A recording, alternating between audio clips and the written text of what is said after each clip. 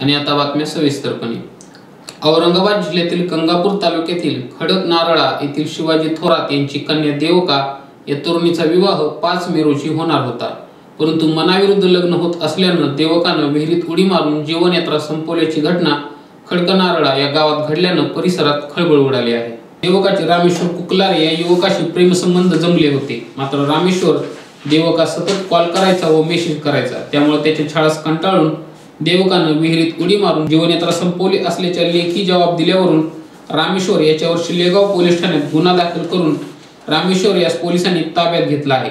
ग्रामीण पोलीस अधीक्षक Mokshada Patil upper police अधीक्षक गणेश गावडे उपविभागीय पोलीस अधिकारी संदीप गावित यांच्या आदेशावरून पोलीस निरीक्षक शौकत अली सय्यद यांनी तात्काळ घटनास्थळी भेट देऊन सय्यद यांच्या मार्गदर्शनाखाली पोलीस उपनिरीक्षक सतीश दिंडे पुढील तपास करत आहेत.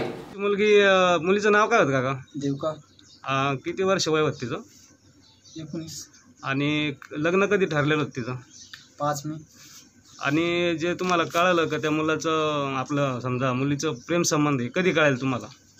ते मृत झाले असं म्हणतात. त्याच्या आधी तुम्हाला अशी काही शंका नाही आली का? हा, नाही. मग तुम्ही ज्यावेळेस अं, अं, मुलगी घरात दिसली नाही त्यावेळेस काय केलं? पाहुणा राळावर शोध घेतला.